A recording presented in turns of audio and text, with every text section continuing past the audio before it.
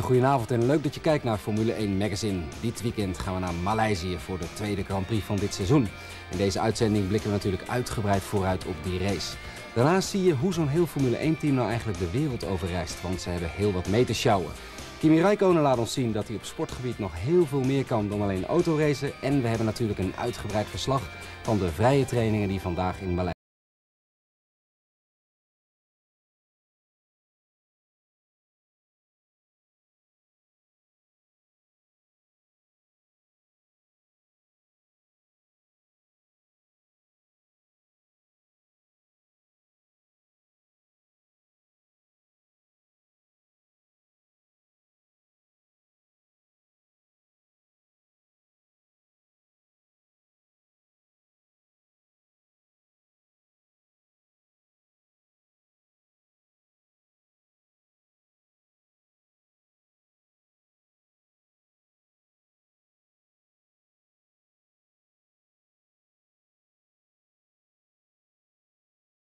wel de hottest race on earth genoemd. En dat is niet voor niets, want elk jaar staat deze race weer garant voor vuurwerk. Hij wordt verreden op het uh, circuit van Sepang, vlakbij Kuala Lumpur. En laten we eens kijken naar die Grand Prix van Maleisië van vorig jaar. Bij de Grand Prix van Maleisië vorig jaar werd in vele opzichten geschiedenis geschreven. Bijvoorbeeld Fernando Alonso op pole position met zijn 21 jaar de jongste man op pole ooit. Houdt de leiding hier bij de start, terwijl Raikkonen binnendoor probeert te komen bij Jarno Trulli. Dat lukt niet. Volgens dan de aanval van Michael Schumacher bij de Italiaan. En dat gaat niet helemaal goed. Kijk maar. Schumacher toucheert Trulli. Die glijdt van de baan af. Wordt toch nog vijfde. En daar in het achterveld raakt Pizzoni aan Verstappen. Trulli staat hier nog. Maar zo gezegd, die pakt nog punten. Michael Schumacher de pits in voor een nieuwe voorvleugel. En dat kost hem vele plaatsen. David Coulthard, de winnaar van Melbourne, moet zijn McLaren al in de derde ronde naast de baan parkeren. Problemen met de elektronica. Einde race. Maar ze hebben bij McLaren nog een ijzer in het vuur. En dat is de jonge Kimi Räikkönen. En die boekt hier in Sepang de allereerste overwinning uit zijn nog korte Formule 1 loopbaan. En brengt daarmee teambaas Ron Dennis tot tranen. Rubens Barrichello wordt dan tweede, Alonso derde, Ralf Schumacher vierde, Trulli vijfde, Michael Schumacher zesde. Maar hij wint Räikkönen. Het lijkt elke Grand Prix weer zo vanzelfsprekend dat al die teams weer aan de start staan. Maar er gaat een hele logistieke operatie aan vooraf. Ze reizen natuurlijk de hele wereld over, vliegtuig in, vliegtuig uit, met al hun materiaal. En er mag natuurlijk helemaal niets misgaan. Laten we eens kijken hoe het team van Renault dat allemaal doet. Een van de meest ingewikkelde onderdelen voor de Formule 1-teams is de verplaatsing van alle onderdelen van de fabriek naar het circuit. Het inpakken is een aardige klus. Allereerst moeten alle grote kisten uit de opslag gehaald worden, waar ze zijn neergezet na de laatste race. Dit gebeurt meestal 7 à 10 dagen voor het vertrek. Allereerst pakt het team de onderdelen in die de week niet meer gebruikt zullen worden. De rest van de onderdelen volgt aan het einde van de week. In totaal zijn 7 mensen verantwoordelijk voor het inpakken. Een team als Renault vervoert zo'n 21.000 kilo aan spullen vanuit de fabriek in Engeland. Waaronder drie racewagens, één reservechassis, zeven setjes met reserveonderdelen, het gereedschap van de monteurs, kleding van de coureurs en medewerkers, de telemetrieonderdelen.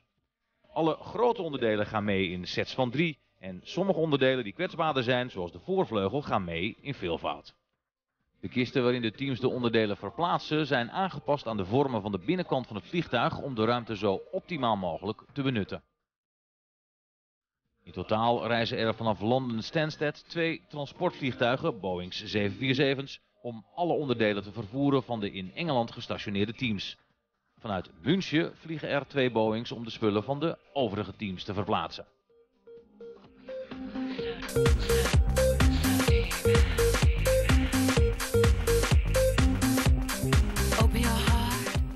Tijdens een seizoen wordt bij een team als Renault ongeveer 160.000 kilometers afgelegd om de onderdelen van de fabriek naar het circuit en weer terug te brengen.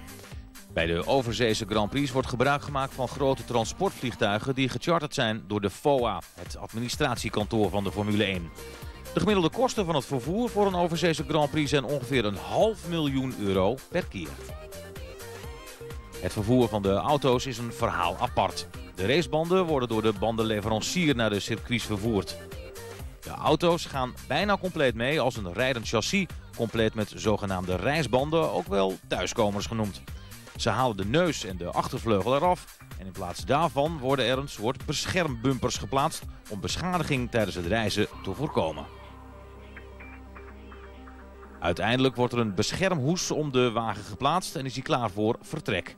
De rest van de onderdelen wordt meegenomen in ongeveer 125 kisten. De motoren worden apart vanuit de Renault-fabriek in Frankrijk verplaatst. Ook de olie- en benzineleveranciers verzorgen zelf hun spullen. Deze hele inpakoperatie duurt ongeveer een hele dag.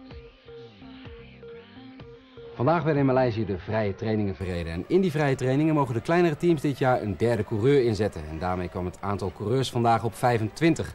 De eerste vrije training dus met commentaar van Ronald van Dam. Vrijdagochtend in Sepang, Maleisië. De zon staat al hoog aan de hemel en de temperatuur is inmiddels opgelopen tot 33 graden. Eerste deel van de vrije training. Een uur lang mogen de heren gaan proberen een zo snel mogelijke tijd neer te zetten zonder dat het al te veel consequenties heeft.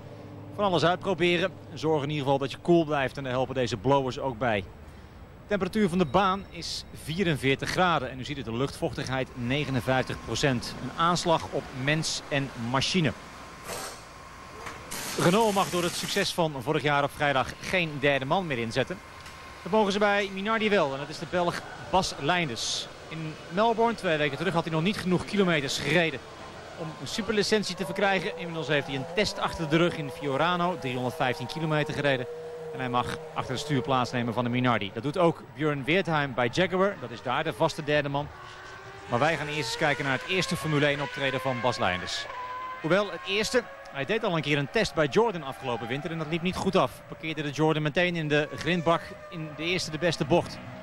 Geen goede reclame voor zichzelf. Maar met centen dan kom je nog wel eens ergens.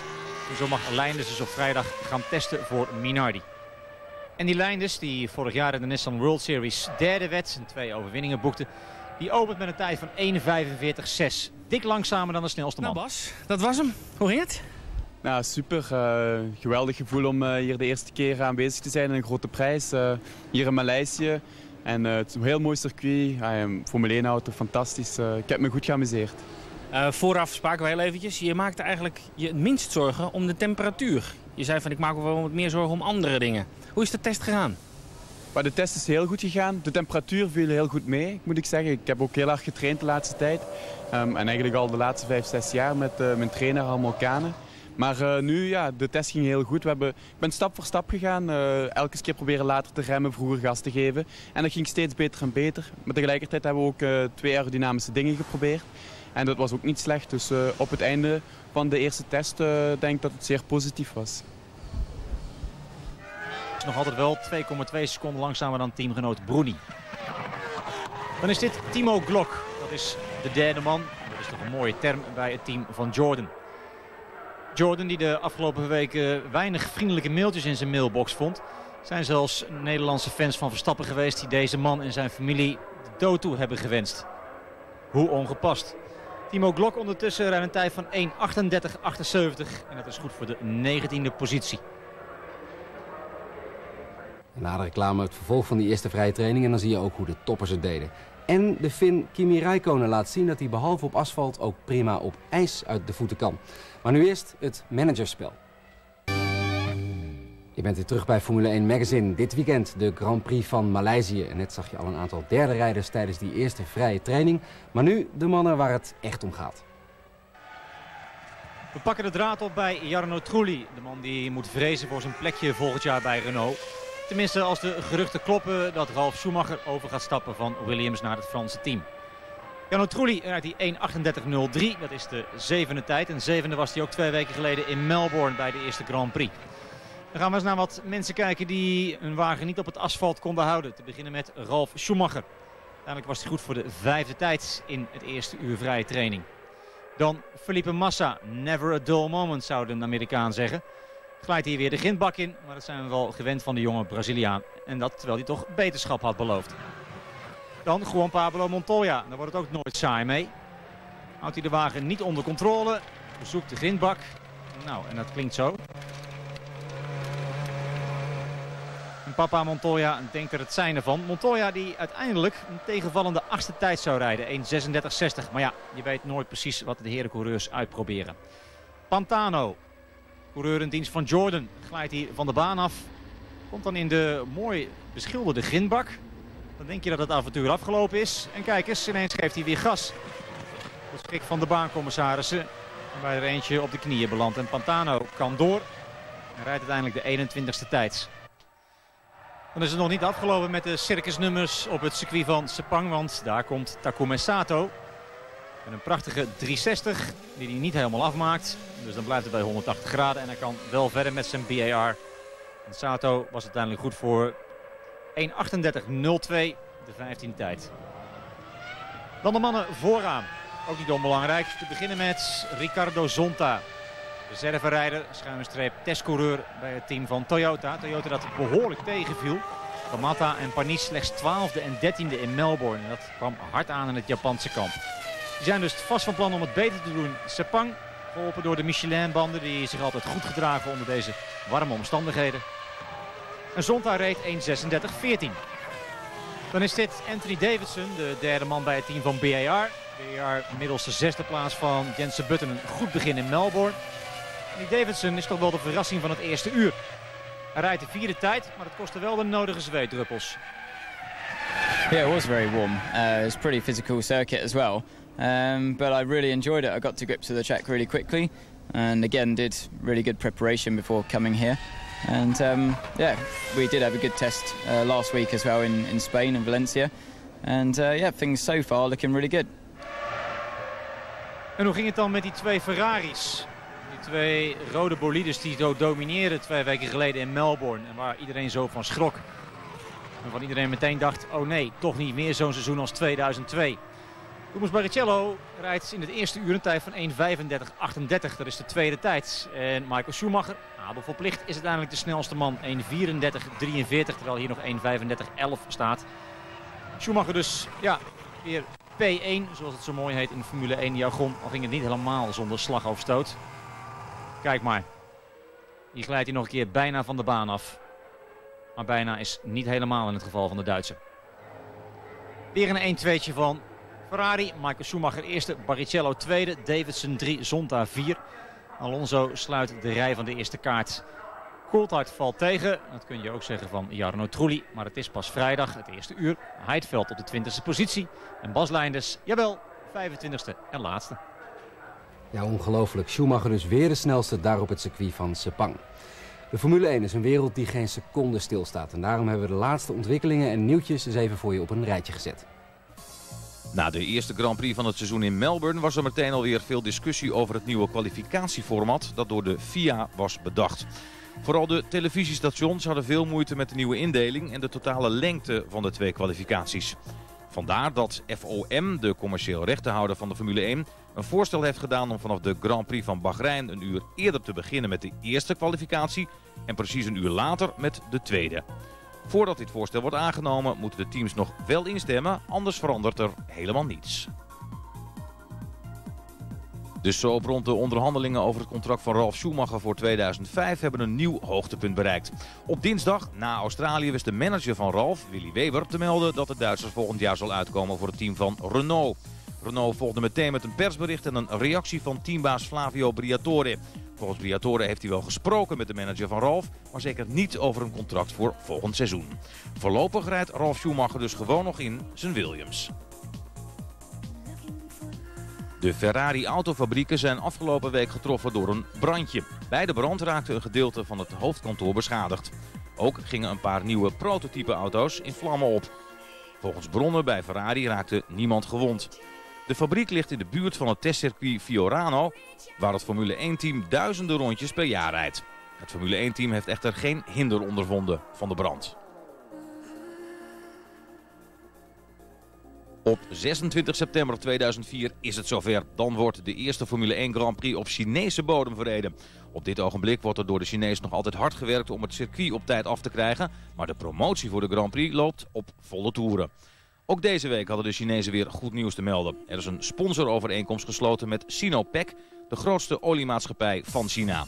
Formule 1-baas Bernie Ecclestone is blij met de sponsorovereenkomst. Volgens Ecclestone is Sinopec de ideale sponsor voor de Grand Prix van China.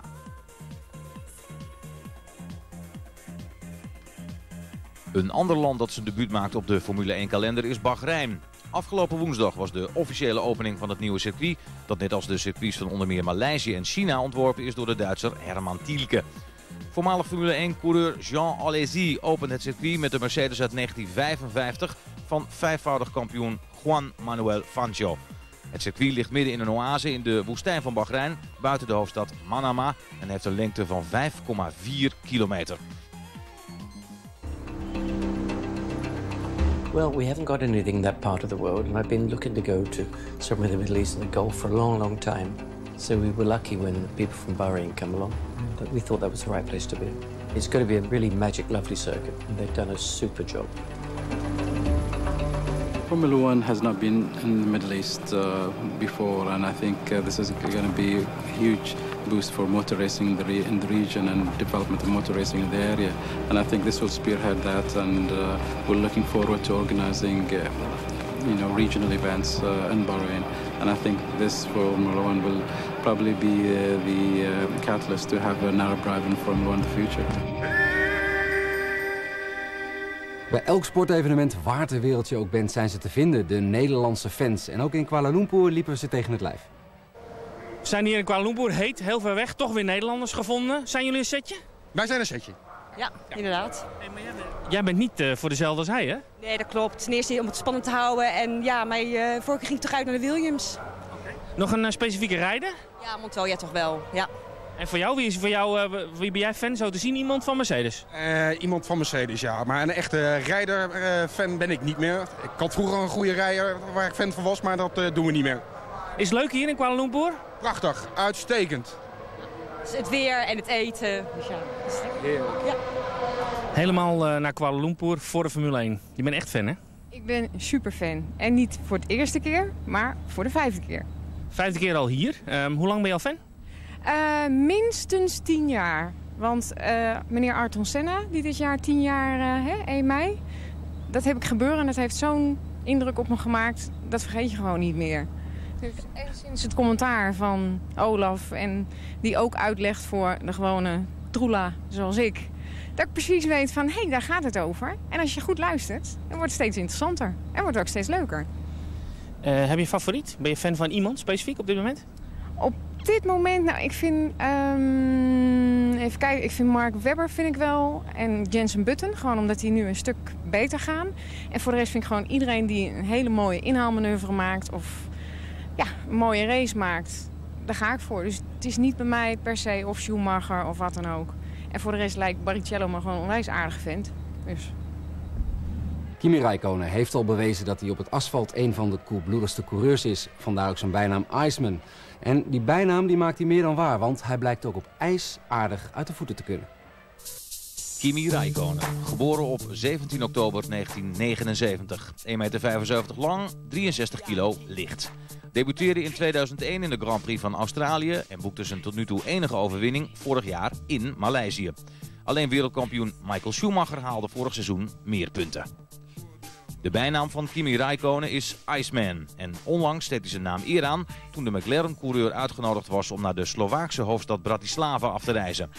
En daar kon de jonge Finn zich uitleven in een van zijn favoriete hobby's, ijshockey. Räikkönen speelde mee in een wedstrijd tussen spelers uit de Slovaakse ijshockeycompetitie. De eerste helft speelde hij mee met het team uit de noordelijke divisie, de tweede helft met het team uit de zuidelijke divisie. Meer dan 9000 fans waren afgekomen op deze happening met Iceman Kimmy en alle sterren uit de Slovaakse ijshockeycompetitie.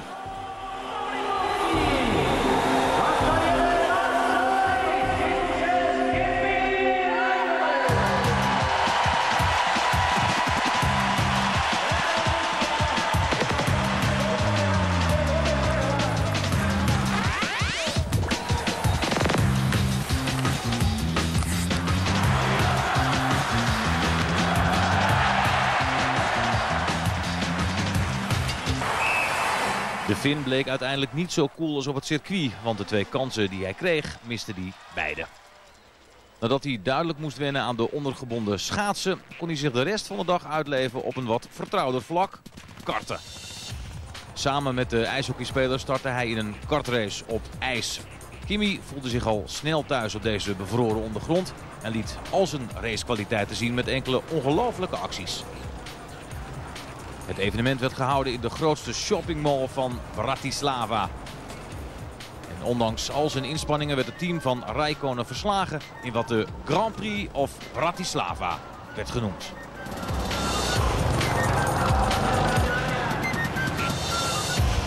let's get out of here. Word to your mother. Ja, en dan is het tijd geworden voor de tweede vrije training daar in Maleisië. De toeschouwers die zijn gekomen maken zich op voor de tweede uur vrije training. Het is wat harder gaan waaien. Je ziet ook Mark Webber, de man die de zevende tijd reed in het eerste uur. Michael Schumacher dolt nog wat met Kees van der Gint, de Nederlandse bandenman van Bridgestone. Schumacher snelst in het eerste uur. En daar de eerste wagens die de baan opkomen. Vooraf gegaan door Felipe Massa met zijn Sauber. Massa die spinde in het eerste uur en niet verder kwam dan de 24e tijd. Terwijl zijn teamgenoot Giancarlo Fisichella de 14e tijd reed met 1.37.99. Ralf Schumacher rijdt hier een paaltje ondersteboven. Althans, dat lag al op de grond. En dan rijdt Ralf Schumacher de grond uit. En dan wijdt het een eigen leven. Maar altijd, godzijdank, het gras in.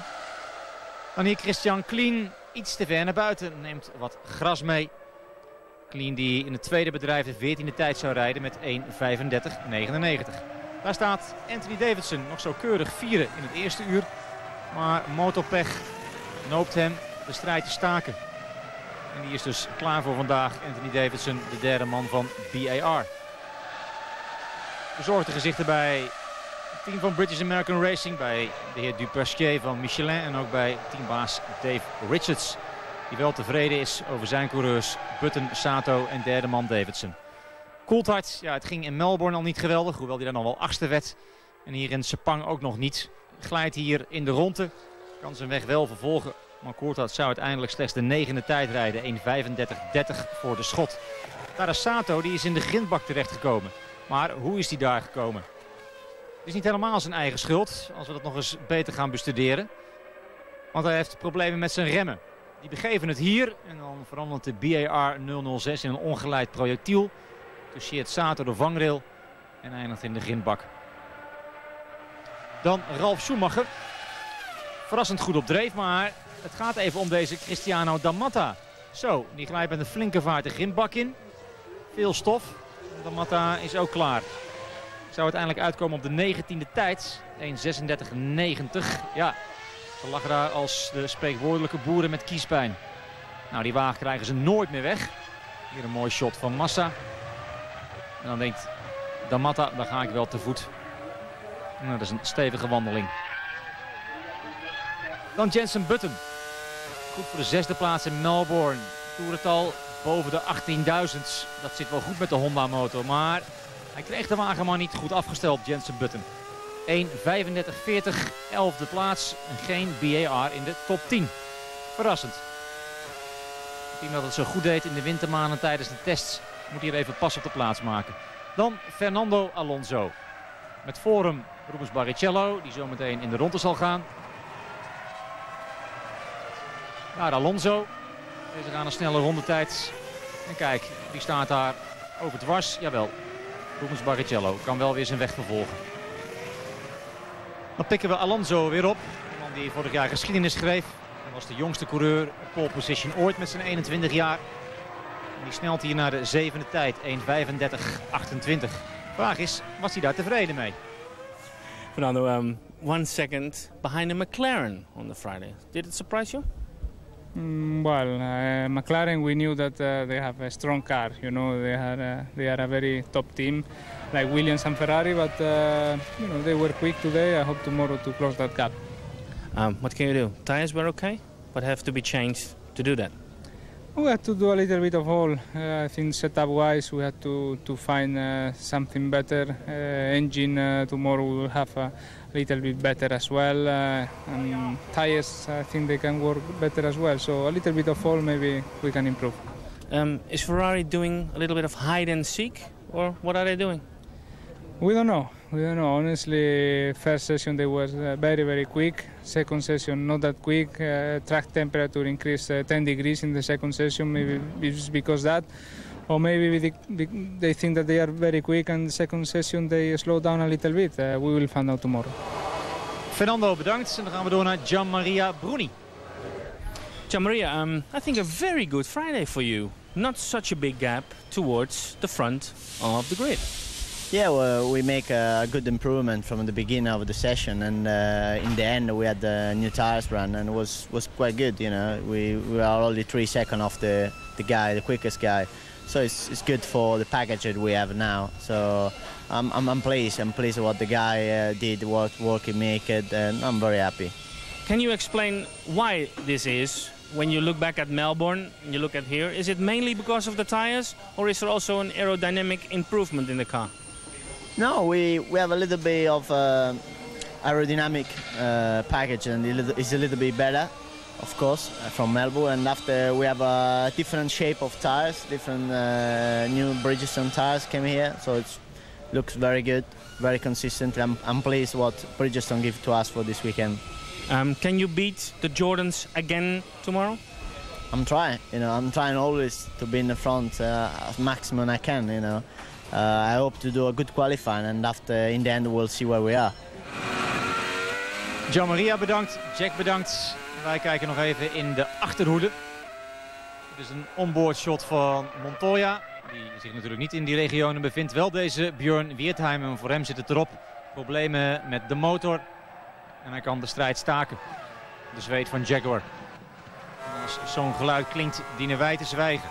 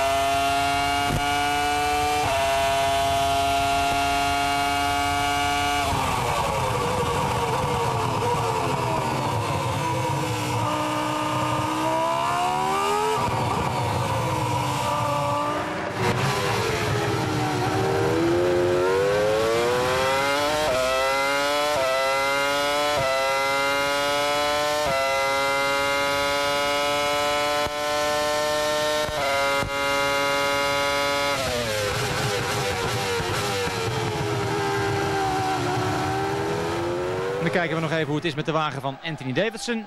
Nou, die is zo te zien helemaal heel. Maar moet wel door de monteurs terug worden geduwd naar de pits. Op handkracht.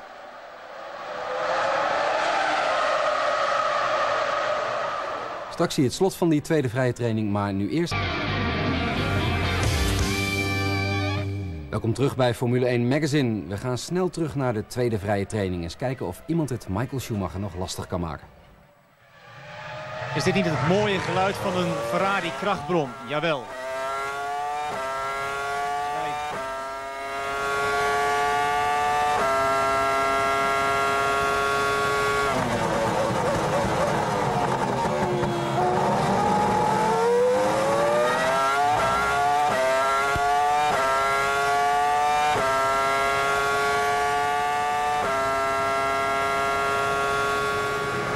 Heerlijk. Felipe Massa met een Ferrari krachtbron in zijn Sauber rijdt de zevende tijd in de tweede uur. Dat is leuk voor Petronas, oliemaatschappij uit Maleisië, een sponsor van het Sauber team. Dan Jarno Trulli, want we kijken de heren die de bovenste plaatsen innamen in het tweede uur. Hij rijdt de zesde tijd, Jarno Trulli, 1.35.11. Dan Juan Pablo Montoya, die nog een aanvaring had met zijn teamgenoot in Melbourne. En sindsdien, het waren ze al niet, geen goede vrienden meer. Montoya rijdt de vijfde tijd hier in het tweede uur op ja, de van hem bekende spectaculaire wijze. En zo soepeltjes als een TGV. It looked like a train on the track. Or was it imagination? A what? A train on the track. The car was so smooth, so quiet. Or was it imagination? Yeah, more imagination, probably. No, it was it's stable in the afternoon, but too much understeer. The morning was oversteer, and I think we went just too far. Went from one end. You know, having a lot of oversteer this morning to a lot of understeer. So it's we need to have try to find a happy medium. Are you getting closer to Michael, or is he getting closer to you? I think they're just going slower, but we'll see. Tires, okay? Yeah, so far so good. Ja, en hoe ging het met Michael Schumacher in het tweede uur? Nou, hij rijdt uiteindelijk de vierde tijd. Maar de kennis verdacht de Ferrari van de wat hardere compound van de Bridgestone-banden uit te proberen. En dat zou zich vertalen dus in langzame rondetijden. 1.35.09 is nog altijd snel, maar niet de snelste tijd. Want deze Mark Webber bijvoorbeeld was sneller. Die rijdt uiteindelijk de derde tijd. 1.35.05. Maar ja, Mark Webber altijd goed op vrijdag. Hopelijk ook op zaterdag. En wie weet op zondag. Het is de Australiër gegund. Dan hebben we van de mannen vooraan nog twee coureurs niet gezien. Te beginnen met Ralf Schumacher. Vorig jaar als 17e gestart en toen keurig vierde. Hij rijdt hier op vrijdag de tweede tijd. En het gaat dus langzamerhand wat beter met Ralf Schumacher en de Williams BMW FW26 met die prachtige neus. En natuurlijk ook een heerlijke BMW motor.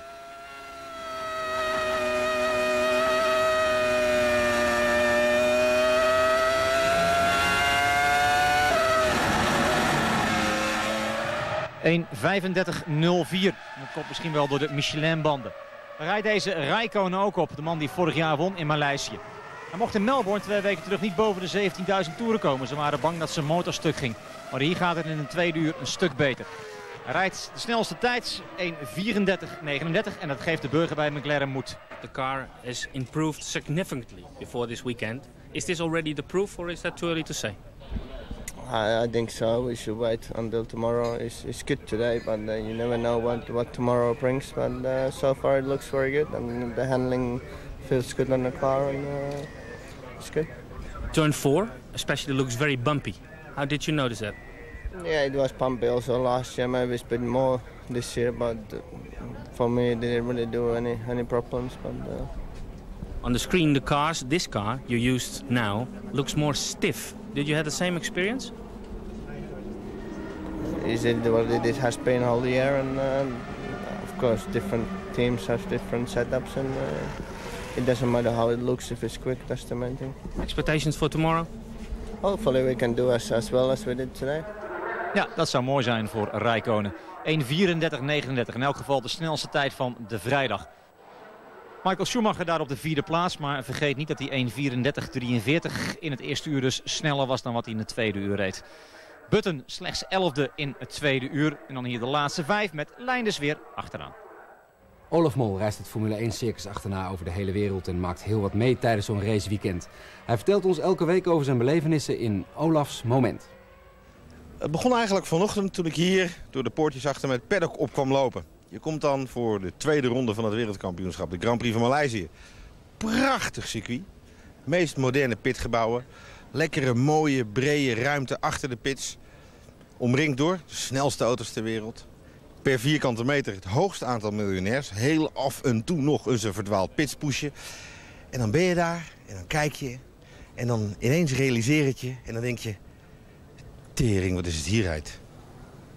Dit was het voor vanavond. Morgenochtend kun je om half zeven op SBS 6 kijken naar een live verslag van de kwalificatie. Vroeg op dus, of gewoon lekker de tv aan in bed. Dat kan ook natuurlijk. Op zondagochtend, ook vroeg, om 7 uur op SBS 6 kun je kijken naar een live verslag van de Grand Prix van Maleisië. Voor meer informatie kun je altijd terecht op www.sbsautosport.nl of op Veronica Tekst 450. Ik wens je nog een heel fijn weekend, heel veel raceplezier en tot volgende week. Dag.